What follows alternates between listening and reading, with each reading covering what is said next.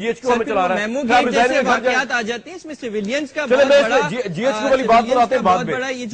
जो आप रिस्पॉन्ड करते हैं हसन साहब बड़ा- जाना फिर। जी। Okay okay. जी दादा हसन हसन साहब आंसर